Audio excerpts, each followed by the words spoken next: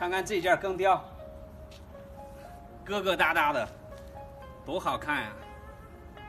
有这个五十多斤。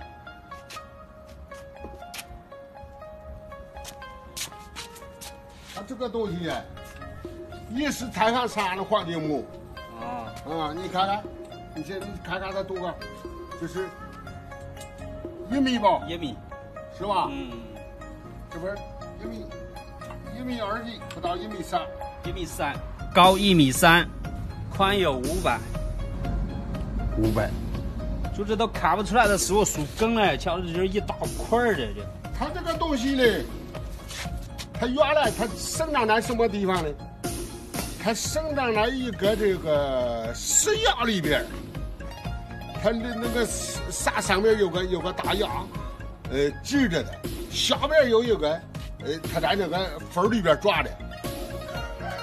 我跟我家孙女儿去了三次，我抓到那石崖里边，孙女儿在外边呢给我递脚去，一会儿要要要是呃贴钱的，一会儿要是锯的，所以你看看这个，你看这疙疙瘩瘩，还有宝宝是刚才有宝宝的伤害了，还得慢一点慢一点，跟文物跟咱们看文物一样，慢一点慢一点把它。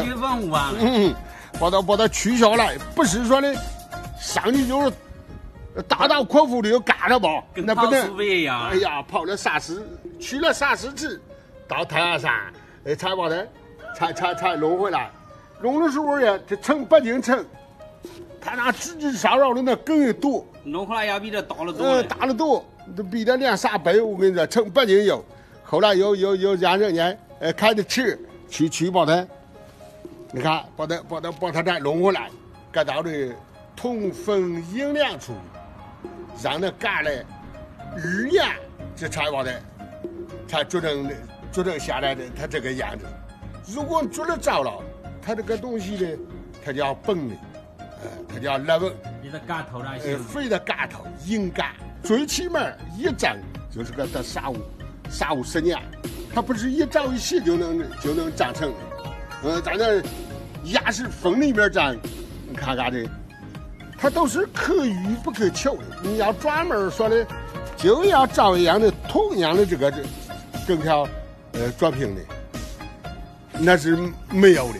这个它是大自然出生的全世界，那就就这一件要是一模一样的，那就这个机器叫红劲儿了，长得多么多么稀奇，是吧？你看这上面这个这个根宝石都跟那珍珠一样在里边镶嵌的嘞，嗯，在这镶嵌的嘞，它都是来自于大自然，这不是说人工谁把它按到上面去的。哎，你看这个空洞，嗯，它是空洞，要平翻盖，你看看，它又像又像古琴。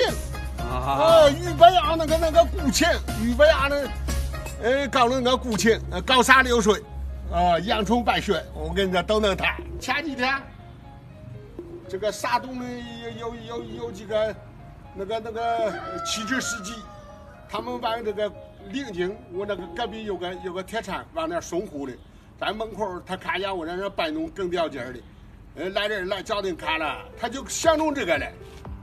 他当时说的，呃，这个老师我这个自己的，我说这不卖，他那在在俺上有个有个这名字大，我给他八千块，我说你就给我一万块，我也我也不卖，我是为了就是就是就是欣赏。哦，那时候还没有做好了。嗯，那时候还正在正在动着呢。啊他说的，呃，我再做几天我过来，我说我不卖，你再欢迎参观，欢迎欣赏啊，咱们就是以以这你这个更了劲儿、做拼劲儿，以这个会朋友、交朋友、交天交朋友，所以咱不是追求经济交流。这件根雕高一米三，宽五十公分，上面有许多的这个根宝石，就好像无数颗珍珠，非常的漂亮。